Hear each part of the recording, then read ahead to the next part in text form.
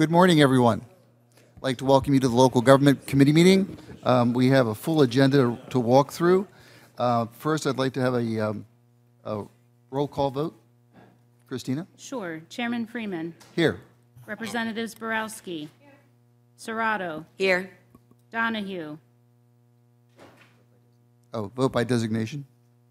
Fleming. Vote by designation? Hambidge. Vote by designation, yes, I'm sorry. Kazim. Also, uh, vote by designation? Madsen. Monroe. Vote by designation? Probst. Prokopiak. Here. Salisbury. Vote by designation. Sappey. Smith Waddell. Vote by designation. Chairman James. Present. Representatives Banta. Fink. Here. Jones. Here. Kuzma. Here. Miller. here. Rader. Rigby. Here. Rinkavage. Watro. Wentling. Okay. Um, Next will be the Pledge of Allegiance, and I'll ask Chairman uh, James to please lead us in the pledge.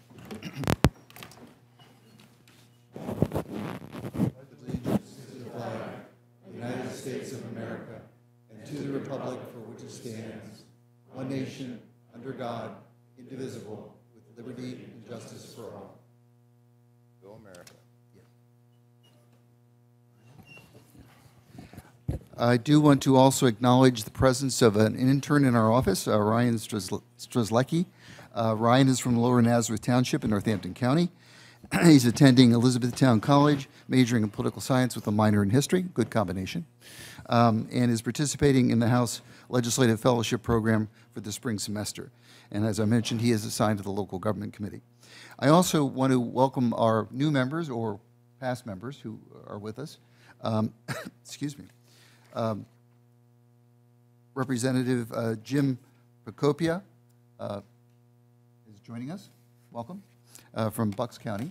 And uh, hope you'll enjoy your your tenure on the committee. It's a good committee.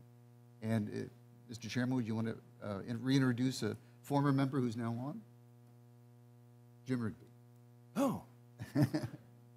Good morning, everyone. Yes, uh, Mr. Rigby comes to us with a, uh, a past of in excess of 20 years, I believe, in community service, and uh, we appreciate your wisdom and thanks for joining us. Good to have you back. Okay, let us get to the, oh, that's right. Our first bill is uh, Senator uh, Brown's bill, uh, 945, um, dealing with the uh, consolidation of the freestanding county code. Do we have uh, a motion to bring up the bill?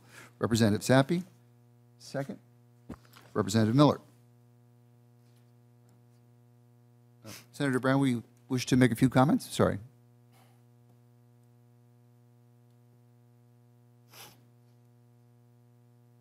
Good morning, everyone. Nice to be back on this side of the building. Um, Thank you, Chairman Freeman and Chairman James, for considering Senate Bill 945. And um, this is the uh, consolidation of the county code. Uh, This bill has been worked on for a very long time. It is probably almost 10 years. And um, so this is the last piece of it, so we're very excited to see this move. And because of that hard work, uh, we are blessed to have uh, the local government commission that works through some of these very detailed pieces of legislation. So I'm going to introduce um, Executive Director of the local government commission, Dave Green, to give you a little synopsis. Thank you. Thank you, Senator, for your sponsorship and leadership on this bill. Thank you, Chairman Freeman, Chairman James. Uh, This bill should look very familiar. On December 13th, we passed the companion piece, Chairman Freeman's version of the Consolidated County Code. As you may recall, as, as the senator alluded, we did a comprehensive revision of the county code um, in 2018, and that was a seven-year process that took an extremely long time, uh, line by line, section by section. Um, After that was enacted, Act 154 of 2018, uh, we let that percolate a bit to see how it worked on the ground and then came up with the consolidation. This bill, Senator Brown's Bill 945, is substantively identical to the existing county code except in structure. We are putting into Title 16 of the consolidated statutes. There are a few exceptions at the end of the bill. These are largely technical changes that we're adding to the bill, with the exception of adding a contracting escalator to the third-class city, uh, third-class county convention center authorities. We're bootstrapping and referencing some other statutes in terms of competitive bidding, but it is largely identical to the current county code. To that end, as with Senator, uh, as with Chairman Freeman's uh, House Bill 1762, there is shield language at the end of this to assure all the members that except for those changes that are articulated in the summary, this is intended and for all legal purposes should be considered a continuation of the existing county code. When we did the original revision, we did the strike-throughs and the brackets and the, and the underlying of the new material. Once that revision occurred in Act 154 in the freestanding county code, when we did this consolidation in 954, it is an entirely new product. There's no strike-throughs. It's new, but the shield language exists at the end to provide legal protection to continue the county code. We've also structured Title 16 so there is a place for law related to Philadelphia, law related to Allegheny County, law related to all the counties. And this is consistent with the Reference Bureau's organizational standards for consolidated statutes. So if anybody has any questions about this, again, it was referred on December 13th, the House version, uh, unanimously out of this committee. So we look for a favorable vote. We're here to answer any questions. Thank you, Senator Brown, and thank you, Mr. Chairman. You're welcome, thank you. And I wanted to note the presence of uh, Representative Salisbury, who has joined us. Are there any uh, questions? Seeing none, I guess we can proceed with a vote. Um, Do we want to take a roll call or just a voice vote? Okay. All those in favor, please signify by saying aye. Aye. Any opposed? Motion carries unanimously. Will be sent to the floor for consideration. Thank you. Mr. Chairman. Thank you. Thank you, Mr. Chairman. Thank you, Senator.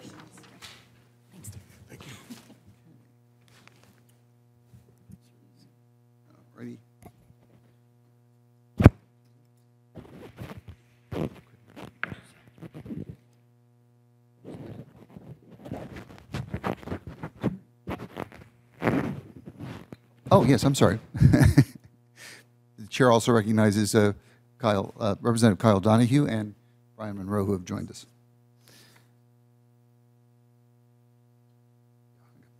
Okay, our next bill is um, House Bill 1573, uh, Representative Ciresi, to establish uh, the Historic and Older Building Redevelopment Assistance Grant Program. Is there a motion to bring up the bill? Borowski, and seconded by Probst. Okay. um, John, you want to give us an overview? House Bill 1573, Representative Ciresi's bill, would establish the Historic and Older Building Redevelopment Assistance Grant Program as a two-year pilot program administered by the Department of Community and Economic Development. Grants would be issued to eligible developers or property owners for the redevelopment, rehabilitation, or enhancement of historic and older buildings. Applicants must prepare a, as part of the application process, they must submit a redevelopment plan uh, for the project, which shall, at a minimum, include establishing the project use as either commercial, industrial, transportation, or multifamily residential purposes, involve at least one of the following primary activities, uh, mechanical improvements, electrical improvements, plumbing system improvements, building egress or accessibility improvements, and it must also identify the economic impact on the improved area, the surrounding neighborhood, and the municipality in which it is situated. Under the program, the department would be authorized to issue a grant to an approved applicant for a project that contributes to the redevelopment or revitalization of historic and older buildings that meet any of the following purposes. One, provide for activities on the property consistent with the project's redevelopment plan. Two, provide for the demolition of buildings, structures, or other facilities on the property that are inconsistent with the project's redevelopment plan. Three, provide for the acquisition of property or assemblage of property consistent with the project's redevelopment plan. And finally, provide for the improvements or maintenance of the historical nature and traditional style of properties within the municipality. The bill also establishes the Historic and Older Building Redevelopment Fund as a non-lapsing fund within the state treasury. All money received by the department under this subsection shall be deposited into the fund. and the department is also authorized to, in addition to funds appropriated by the General Assembly, the department may also solicit and accept alternate funding, including federal funds, grants, and donations from any source consistent with the goals of the Act. Um, DCED must submit a report to the General Assembly on expenditures from the fund and the progress of economic development and rehabilitation of historic and older buildings throughout the Commonwealth following the expiration of the Act, and shall include recommendations for the continuation or expansion of the program. DCD is authorized to promulgate rules and regulations necessary to implement the Act, and as I mentioned, the Act would expire two years from the effective date.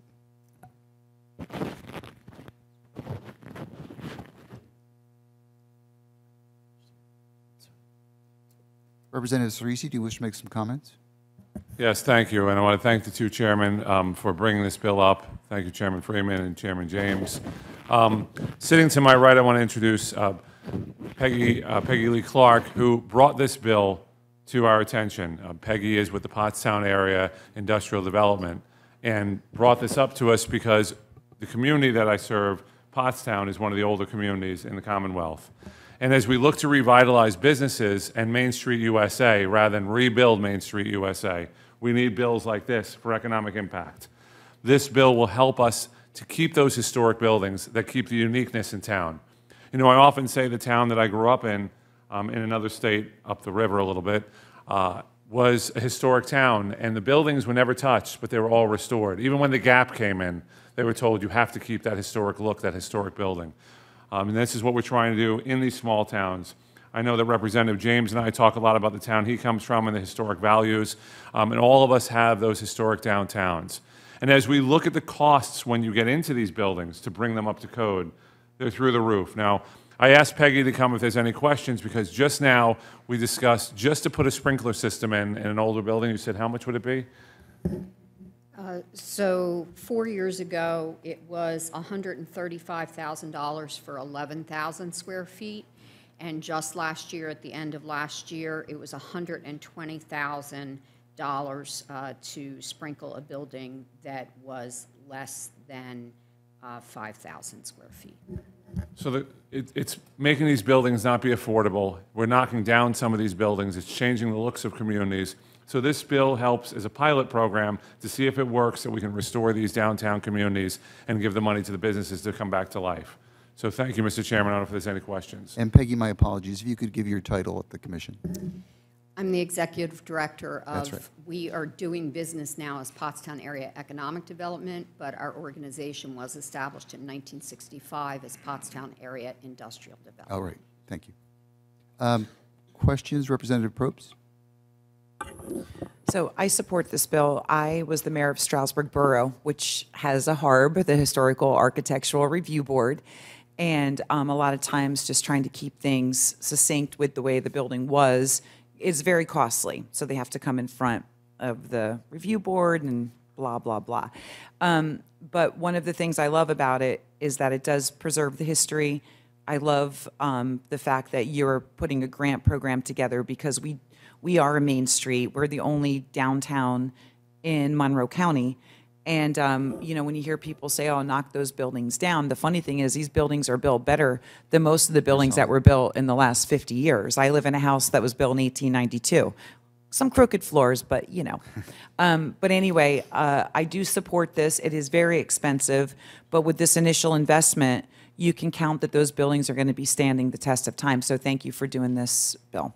Thank you for your comments. Uh, We do have an amendment to take up unless there's other questions of the bill in chief at this point.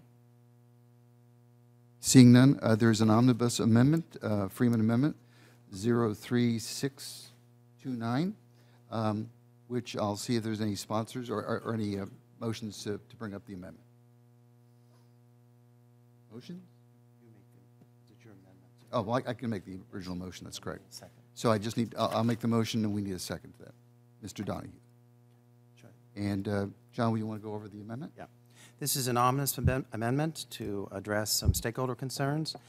It would clarify definitions, including historic and older building. Uh, The the definition would be a building that is listed in or eligible for the National Register of Historic Places, or a building that contributes to a National Register listed or eligible historic district.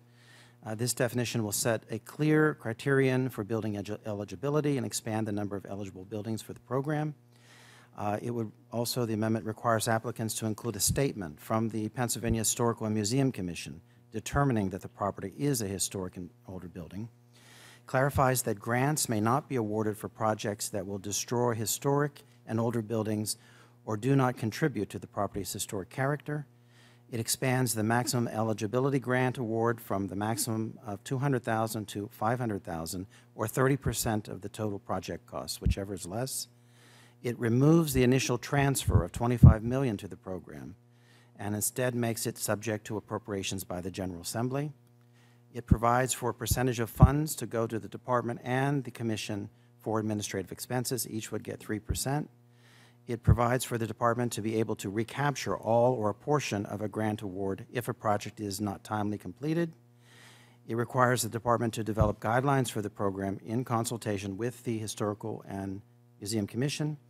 And finally, clarifies the expiration language so that only the department's grant-making authority expires two years after enactment instead of the act entirely. This is the preferred method by the LRB.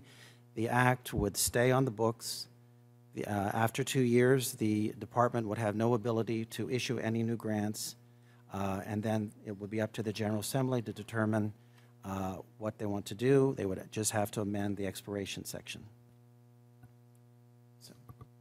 Are there any questions? Oh, Representative Miller. Thank you. Uh, Looking at the amendment, uh, it, takes, takes away the definition of historic building and older building, uh, and replaces with the definition, the bill, the bill is called the uh, Historic and Older Buildings. Uh, So my question is, if you remove the definition of older building, what is an older building? We're not- No, We're, we're not removing that definition. We're expanding the definition of historic building to include historic and older building. So it's one definition. It's going to be, the term is going to be historic and older building, and then the definition is listed in the. um, Correct. Okay, so my, my question, I- I guess I'm trying to understand, what is an older building then? Well, And how the is de- that the- determined? The definition would be a building located in this Commonwealth and documented as being listed in or eligible for the National Register of Historic Places or contributing to a National Register listed or eligible historic district. And the commission would have to provide a, um, a, a statement determining that the property is a historic and older building. Okay, the um, reason I'm, I'm just trying to understand that, the, the bill as it was originally written uh, defined older building as something 50 years. So, uh, That's not in it anymore. okay, but, so therefore, uh, uh, an older building could be something that's 20 years old. Could, It, it, Yeah. it has to meet, if it meets this definition. yeah, it has to meet listed or the eligible. eligibility of National Registrar, which does uh, carry with it uh, of historic places um, criterion of its historic nature. Okay, so a, a, uh, an older building could, uh, doesn't have to be historic, but it Well- could be, It does. No, it still has to be and older. historic. That's still one of the qualifiers. so it has to, okay. Just trying to understand, if, if it's historic, then we don't need older. I- Anyway. I- I Representative know Probst, that. you had a Thank point? Well, now I'm confused. Um, It has to be in a designated historical district, correct? It has to be listed in or eligible for a National Historic Okay, Register so of Historic Places. and/or, Yeah. Or contributing to a National Register listed or eligible historic district. so if, um, so would an example of a building that's 20 years old, because now I'm confused, be maybe a historical building that maybe, you know, had a fire and was partially rebuilt? Would that, like, I don't understand how a 20-year-old building would be considered historical. I can understand a piece of that building, like our courthouse that was built in 1842, but then they did a really bad 1970s addition and now they're doing another addition, but really only one piece of that courthouse is historical. So now when they build, they have to make it look historical or match Right, to- through. to reflect. So, so what would be the 20-year example? Well, generally, the property is eligible to be listed, uh, or, or- or, I'm sorry, eligible for listing in the National Register, which is a, at least a 50-year period. Um, Properties less than 50 years of age must be exceptionally important to the, uh, to be considered eligible for a listing. So there is a, uh, a requirement of being exceptional, and within the historical context. So would that be the example of, like I just said, a courthouse that's, you know, 200 plus years old? An addition that was put in maybe in the 70s or 80s or even 90s. And now they need to do upgrades to that addition, which is connected to the historical courthouse. Because I can't see how a 20 year old building can be classified as historical. Mr. Chairman, Yes. An example that I could think of Representative is, Ciresi. I'm sorry, Uh, an example I can think of is if something historical happened on the property. Let's say there was an invention on this land that came out, whatever it might be, in 2024, this year, and 20 years from now, so-and-so invented this product here, it becomes part of history that this is where the product came from, or a- a presidential speech, or some kind of changing thing to the community and to the Commonwealth that happened on that land. We've all seen that happen over the last 10, 15, 20 years, where a property all of a sudden becomes something that becomes part of history. All, and, and maybe out of the blue, or maybe it was something that went on on that land, that now this property becomes a place for, history has been set there, something dramatic has happened on that land, so now we put it under a historic title that maybe wouldn't have been. Now, you're right, a 20-year-old piece of land, a property, is not historic. But if something happens that changes humanity or changes the community, now the property goes under a different heading of this has become a historic place for X, Y, Z reason. So um, I think that's the way I would look at this for a property that is younger than 50 years. If something happened on that land or something was developed and, and became a historic property. I think for the most part, I would say 95 to 97% of these properties will be historic properties. This would be the exception to the rule, as Representative Miller brought up, um, that might become historic that's much younger than 50 years. And I should note, too, that it is required of applicants to include a statement from the Pennsylvania Historical Museum Commission that would determine uh, that the property is historic and of an older building nature. So that it gets vetted. Any further questions? Representative Rigby.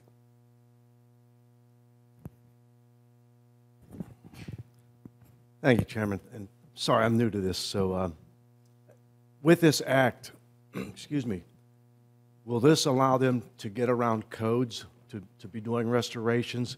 As part of our policy tour, uh, we were in Tamaqua two weeks ago, and they're trying to restore downtown Tamaqua and save some of these beautiful buildings.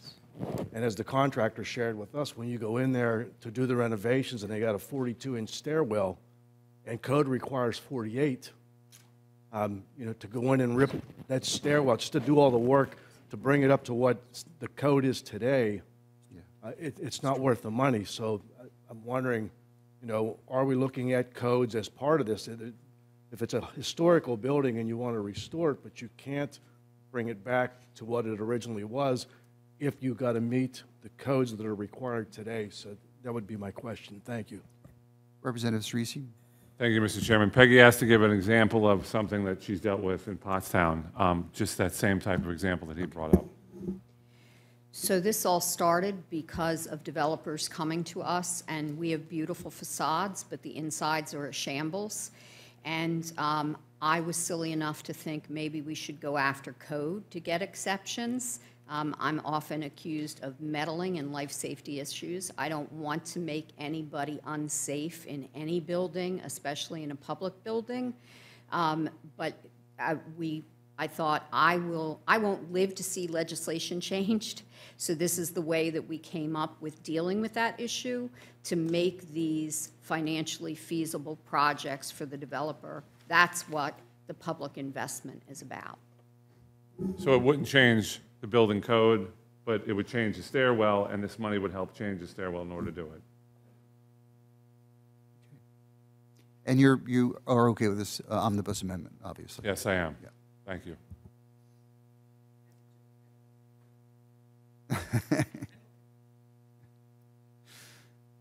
Okay.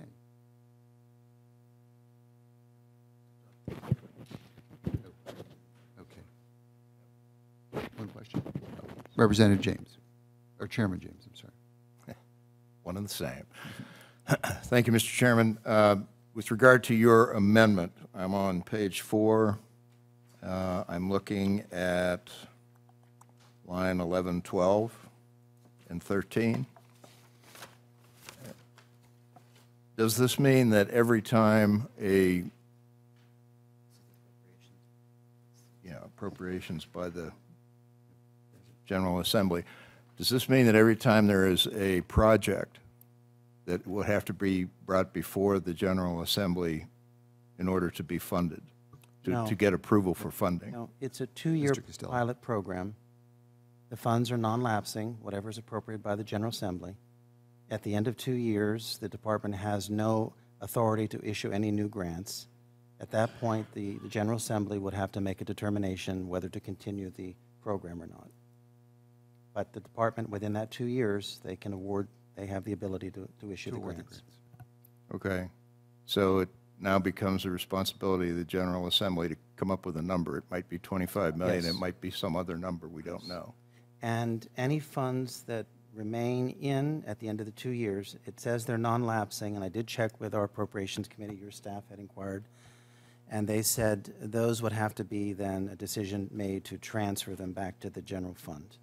And they suggested an amendment on the floor to stipulate that those funds would revert to the general fund on any unexpended funds at the end of the two year. Okay? That was my next question, so thank you for anticipating that one. Okay. Um, There's no more comments. We'll uh, take up the vote on the amendment. It was properly uh, moved and seconded. Um, I guess we can do a voice vote, or did you want to do a roll call? Okay. Okay, Christina, will you call the roll? Chairman Freeman. Yes. Representatives Borowski. Serato. Yes. Donahue. Yes. Fleming. Uh, Vote by designation, yes.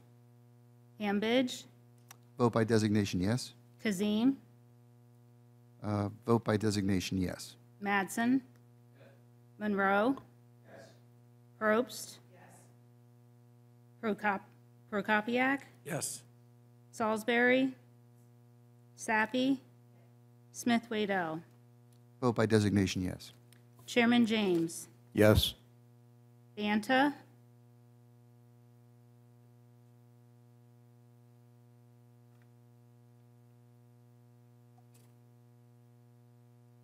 Representative Banta is a no. Fink. No. Jones. No. Kuzma. Miller. Rader. Rigby. Ringkavage. Uh, Designate, vote by designation, yes. Watro. By designation, yes. Wentling. And do we have the vote? Yes, 22 to 3. Twenty, 22 to 3. okay. Okay. That the amendment passes. Um, We are now on the final bill. Um, Do we want a roll call vote or just a simple voice vote? Roll call, please. Roll call will be, Okay, Chairman Freeman. yes. Representatives Borowski. Serrato, Yes. Donahue. Fleming. Uh, By designation, yes. Hambidge. Designation, yes. Kazim. Designation, yes. Madsen. Monroe. Probst. Prokopiak. Yes. Salisbury. Sappey. Smith Waddell. Designation, yes. Chairman James. Yes. Representatives Banta. By designation, no. Fink, No. Jones, No. Kuzma. Yes. Miller. Rader. Rigby. Ringkavage. By designation, yes. Watro. By designation, yes. Wentling.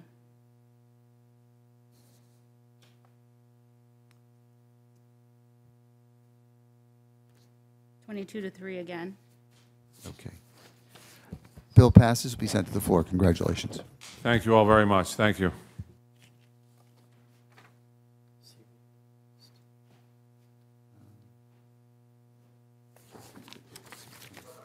Sorry.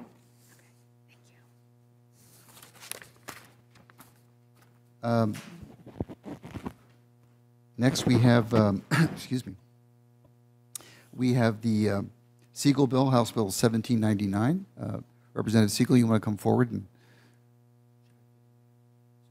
Oh, John can give a a brief overview as well. Okay, House Bill 1799, this is Representative Siegel's bill. This bill would establish the Mixed-Use Redevelopment of Shopping Malls Act with the stated purpose to promote the redevelopment of such entities and return them to function in accordance with sound and approved plans for their redevelopment. The term mixed-use redevelopment is defined in the act as, under the legislation, as an urban, suburban, village development, or single building that combines residential, commercial, cultural, institutional, or industrial uses to provide efficiency for the community in terms of space, transportation, and economic development. Under the act, the Mixed-Use Redevelopment Board would be created within the DCED to provide guidance for the redevelopment of shopping malls into affordable housing and other mixed-use purposes. Um, One of the stated um, duties of the board would be to prepare and publish best practices for the redevelopment of shopping malls based on national standards and models. And under the bill, counties, cities, boroughs, incorporated towns and townships, and school districts would be authorized to provide special tax provisions related to an increase in the value of real estate from mixed-use redevelopment. Okay, is there a motion to bring the bill up? Or the amendment, I'm sorry. Just the bill. Itself, bill in chief. Moved by Representative Borowski and second by Representative Donahue.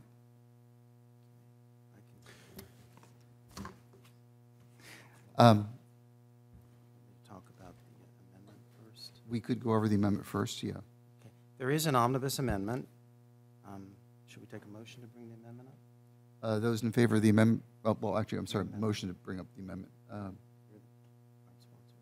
I'll be the prime, so I'll make the motion, and Representative Sappey will second. Okay.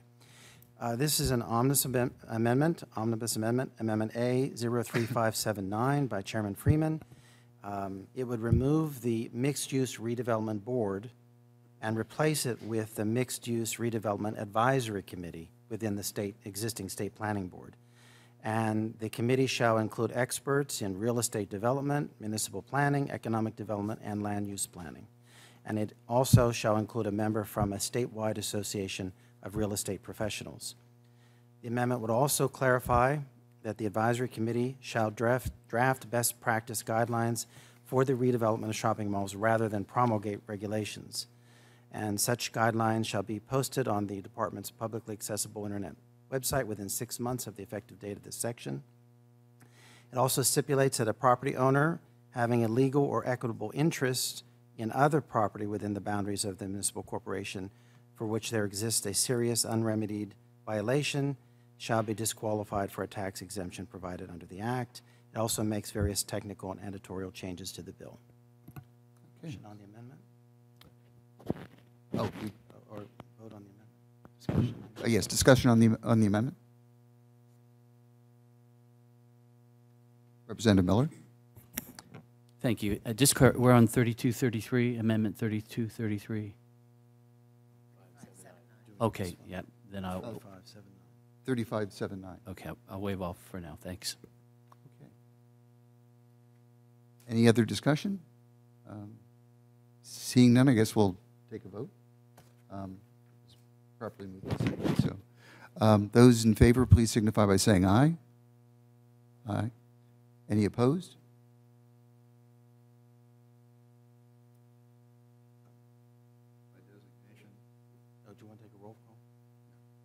By designation, Banta is a no?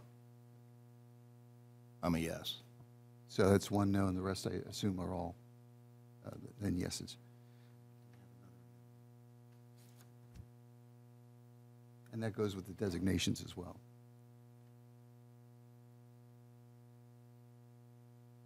So that gets us to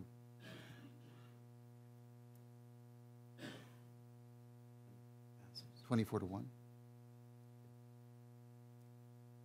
Alrighty. Second amendment. This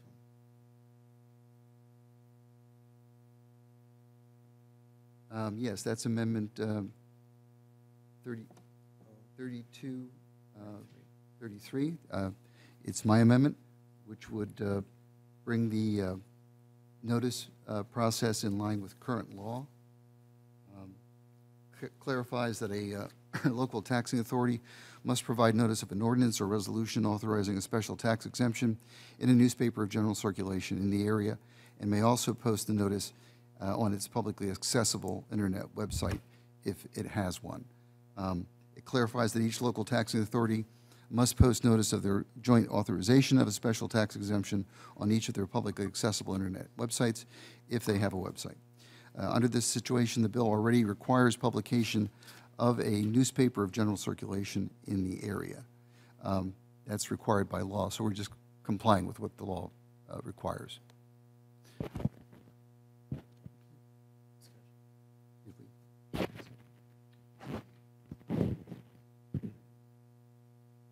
Okay, I'll, I'll make the motion. Is there a second?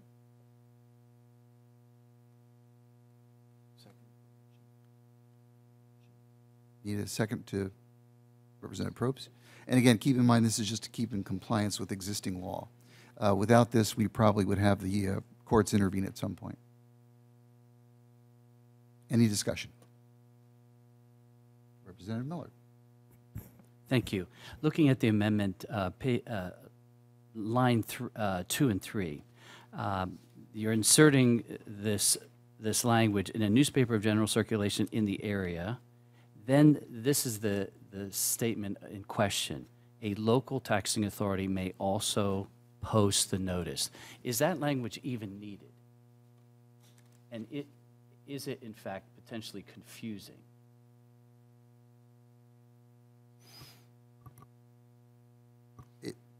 I'm sorry, Mr. Costelli. It- It seems to me that that, that's, the sec, second sentence, a local taxing authority may also post the notice, is a given, it's not needed, and it's potentially confusing. Um, Well, it grants them the ability to use that, but they have to follow the general circulation requirements, which is current law. Which is current law. But, but that second sentence, I don't, It's just an option. That's, that's, a- that's all the bill was requiring, was the internet website if they had one. So we're putting in there that they must do it in a newspaper of general circulation in the area. So they can do the other if they have a website as well. it, it, But I mean, it's not in in place of. I know, I understand. Yeah. I'm, I just wonder if that's even needed, needed is all.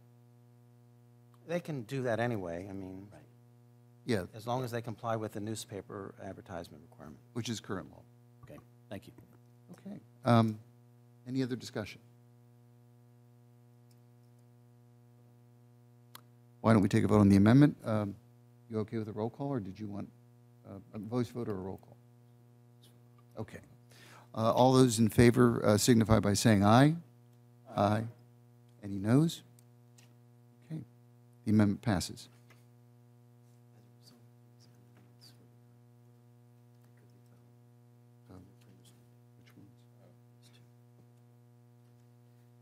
Yeah.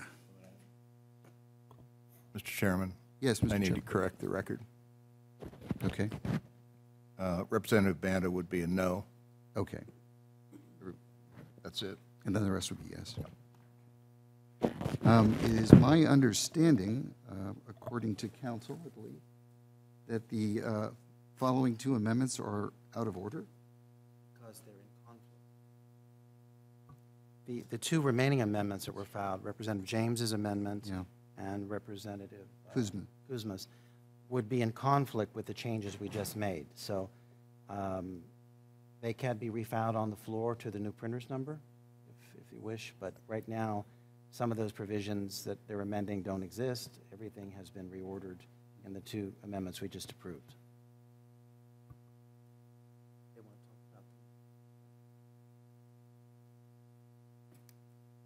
Representative James.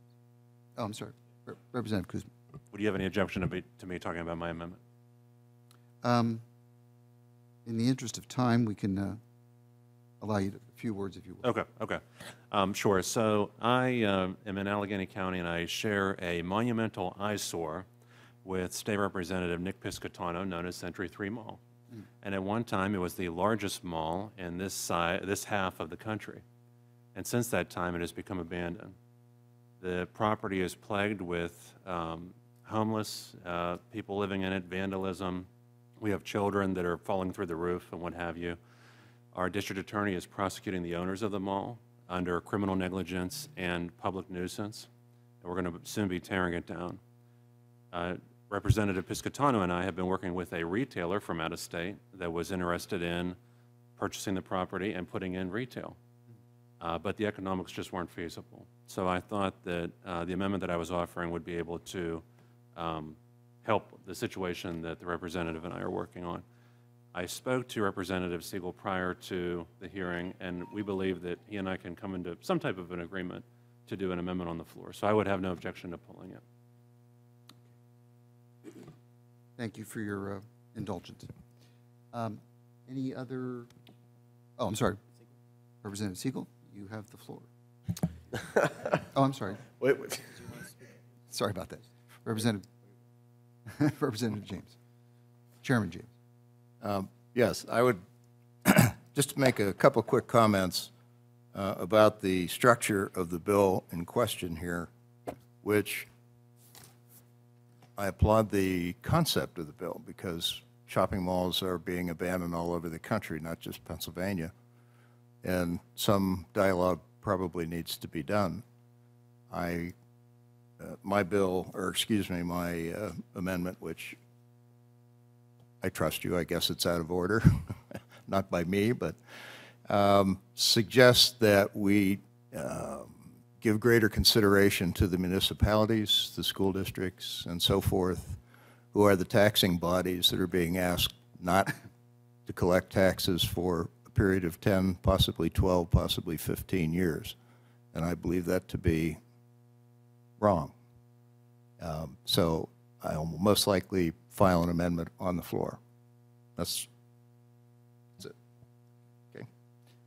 Uh, Representative Siegel, you're recognized. Okay, thank you, Chairman. Um, So, look, I think HB 1789 addresses two core and uh, key priorities. The first of which is it recognizes that some jurisdictions and municipalities do not have, excuse me, the technical expertise or perhaps the planning capacity to properly redevelop these sites in a way that would be most economically efficient and lucrative for their local communities. And so this mixed-use redevelopment advisory board that I developed in consultation with, with Chairman Freeman um, will not be a regulatory agency. In no way will it be able to interfere with local control or local decision-making, nor would it override the capacity for a community to redevelop um, this property in any particular way, but it would promulgate best practices and provide guidelines by which communities can redevelop these blighted or underutilized shopping malls and shopping plazas. And I think that's key. Um, these are once in a lifetime redevelopment opportunities for communities, and we want to make sure that they get it right. Um, once this mall, you know, said mall or said plaza is torn down, whatever they build is likely going to stand for several generations and for a considerable period of time. We want to make sure that municipalities are maximizing the economic development potential that they get from that site, and also that the community benefits in every way possible in determining whether or not they need more housing or commercial or industrial development. But it's critical that municipalities have access to a well-defined, well, uh, you know, well-defined and well-codified sort of strategic plan um, and best practices developed in consultation with a board that will be made up of real estate experts, developers, and housing advocates who ultimately know what's best for redeveloping these parcels. The second provision of this legislation, I can understand the sensitivity to it, um, would create a more generous period of tax abatement for the redevelopment of these sites. And it's not a handout, it's a recognition and acknowledgement of the considerable financial risk and the considerable financial uh, investment it takes to turn these properties around. Um, some of these malls are in excess of 50, 60, 70 acres. These are larger sites. It could be hundreds of millions of dollars required to redevelop them. And so the longer term that that abatement lasts enables the developer to secure the financing needed to undertake the project uh, and pay it off in a faster period of time. But these abatements are also given in a way where municipalities can gain certain concessions in return. So this is by its very definition a collaborative process. I'm not insensitive to the needs of municipalities, and I would point out that this is simply a tool in the toolbox. It's not obligatory. It doesn't override or negate the existence of LERTA, which is also a vital economic development tool. It simply provides another means by which municipalities can chart their own course and hopefully redevelop what was once a prosperous and tax, uh, tax lucrative uh, parcel. And so it is my hope that this abatement schedule, which is slightly longer, will alle- alleviate the risk associated with development, entice developers to take on these larger projects, but also in doing so accomplish core community goals. So I would point anyone uh, to, the, the provisions of legislation which allow developers to extend that abatement past the 10-year mark to potentially 12 or 15. And in exchange for that longer extension, they would have to include attainable housing, so slightly more affordable housing than traditional market rate. Um, access to green space, potentially energy efficient buildings. Uh, municipalities can gain concessions in return for this development, which is critical. We have a shortage of over 100,000 housing units Commonwealth wide. Frankly, we need to build more of all forms of housing, not just attainable, but also market rate. Um, in order to make sure we bring costs down. We have a tremendous imbalance between supply and demand, and these parcels serve as a great opportunity to address that critical shortfall in housing. Um, I think it's important that we recognize that at the end of the day, developers are partners in the way we rebuild communities. We have to acknowledge the mathematics and the financial realities of the means by which they redevelopment uh, they redevelop these properties. Um, and frankly, there's a reason many of these parcels have sat idle for so long, and it's that I think, frankly, our communities don't have the resources, tools, or guidance to, to properly redevelop them. And so we really have a dichotomy of choices here. We can continue to choose the status quo, which has resulted in blighted, dilapidated, underutilized properties that are not just eyesores, but public safety hazards. Or we can create a more generous but strategic investment that will enable us to turn these parcels around and create true town squares. I want to emphasize that there's a reason I chose mixed use, and that is because it is often the most lucrative, successful, and by the way, from a consumer standpoint, in demand type of living arrangement. We know that folks want walkable, vibrant, accessible communities. They want to be in close proximity to jobs, amenities, entertainment, and their housing. Uh, and so we know that we can triple, quadruple the amount of tax revenue being generated from these parcels. We can do it in a way that benefits the local community and generates new economic uh, uh, um, progress, but also tax revenue for both the school district, city, and county. And I would posit on my final point that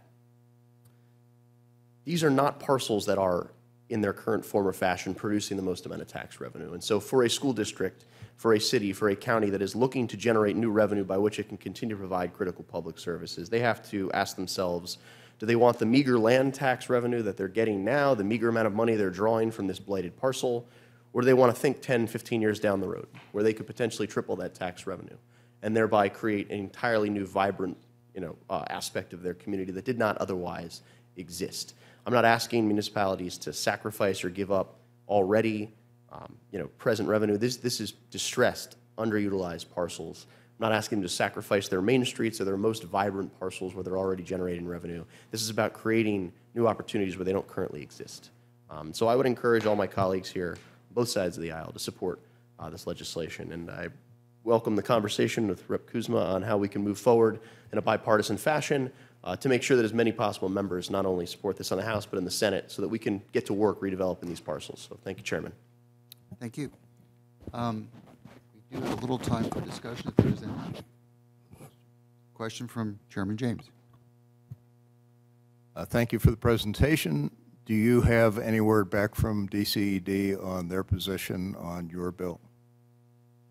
I Yeah. developed some of the amendments in consultation with DCED.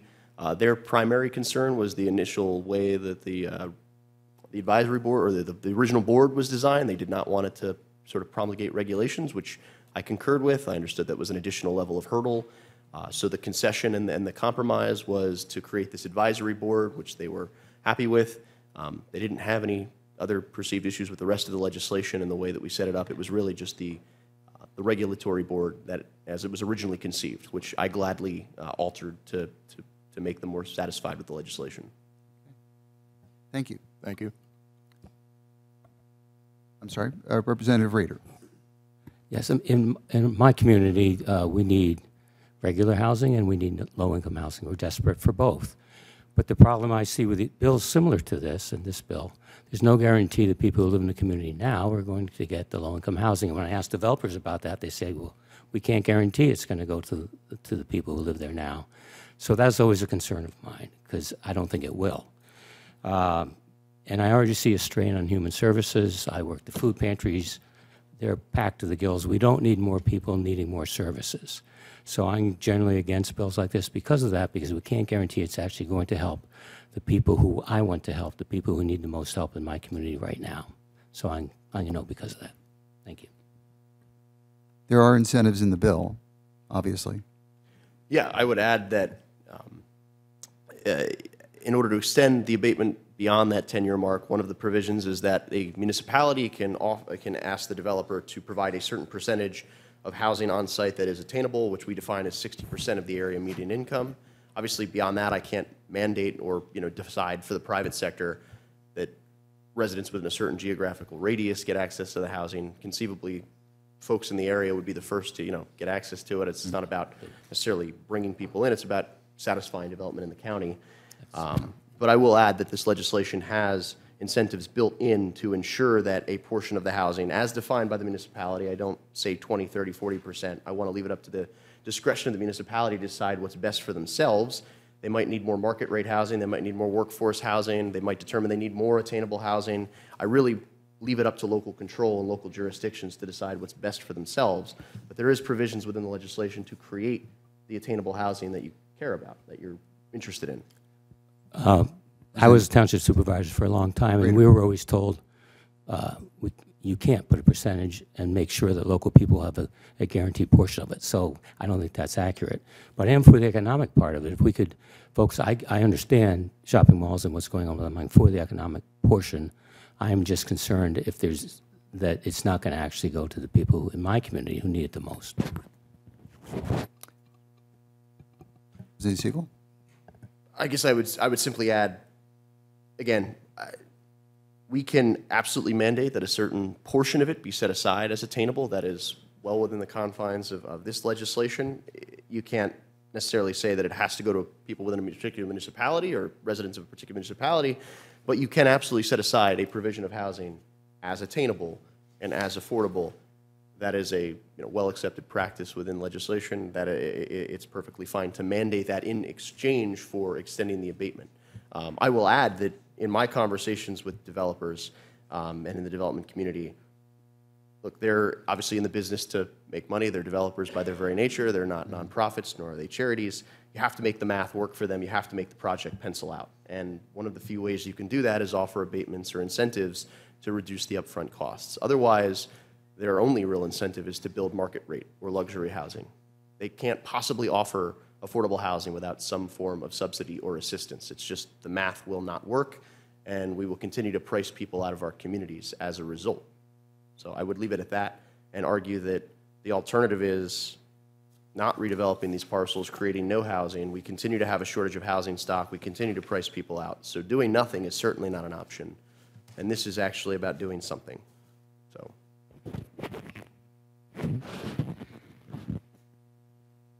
Okay.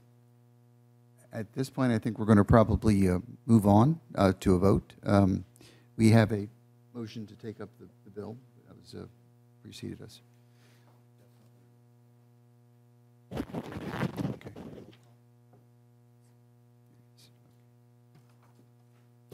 Um, We'll ask for a roll call. Chairman Freeman. Uh, Yes. Representatives Borowski. Serrato. Yes. Donahue. Yes. Fleming. Hanbidge.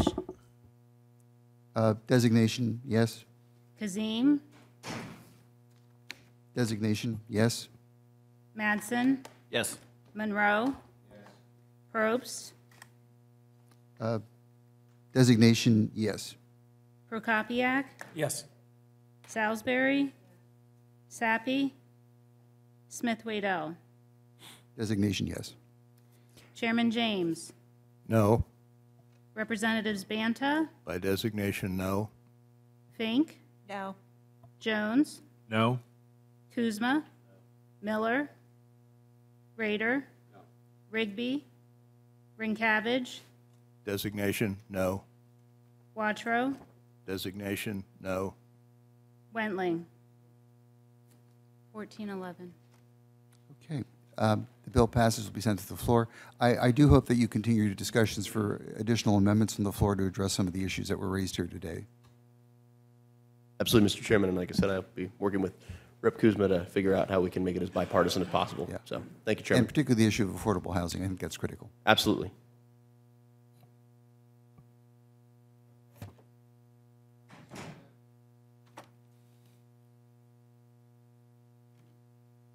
A Serato bill. Is there a motion to bring up the bill? Where are we? Oh, sorry. Representative Monroe. And a second would be Representative Madsen. Okay, uh, we have an amendment two, uh, Freeman Amendment. It's technical of nature to remove unnecessary language, purely technical. Uh, I'll ask, uh, we can take the bill at first, yes. House Bill 1903, this is Representative Serrato's bill. It would amend Title 53, Municipalities Generally of the Consolidated Statutes, by adding a new Chapter 62 entitled Water and Sewer Projects.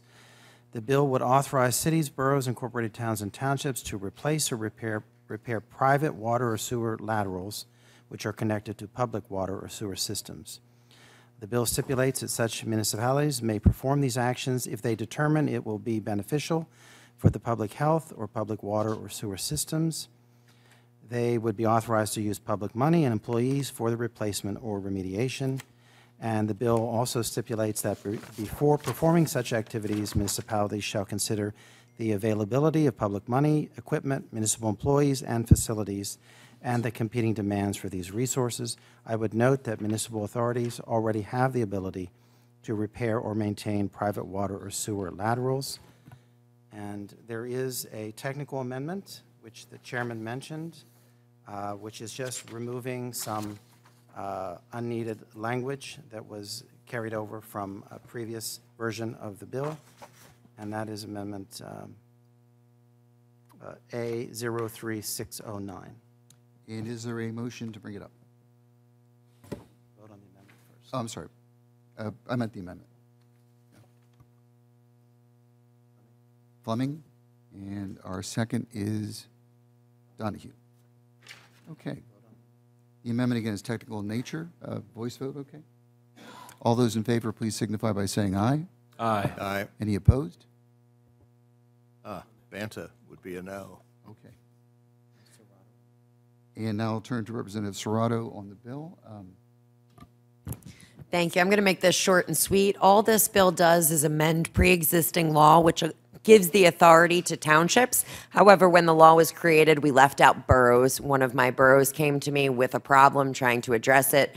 We're very simply trying to do that. So thank you very much for an affirmative vote. All those in favor of the uh, bill, please signify by saying aye. Aye. Any opposed? Carries unanimous. Banta is a yes. Oh, good. And now we get uh, to a special resolution, which is very much connected to our committee, and that is uh, declaring the week of April 8th through 14th as Local Government Week and April 10th as Local Government Day here in Pennsylvania. Uh, Is there a motion to bring up, well, it's my bill, I guess I'll make the motion to bring it up. I'll second it. it. Is Resolution uh, HR 326, seconded by Representative James, Chairman James. Um, Voice vote should suffice. All those in favor of uh, declaring uh, the week of April 8th to 14th as Local Government Week and April 10th as Local Government Day in Pennsylvania, please signify by saying aye. Any opposed? Yes. Uh, Representative Fink is a no. Oh, So noted. so noted. Is there any other business to come before the committee? Seeing none, we look forward to addressing some of those issues that were raised here today on the floor and being able to follow up on that. Meeting is now adjourned. Keep that. I'll let you keep that. Okay. The rest can go in the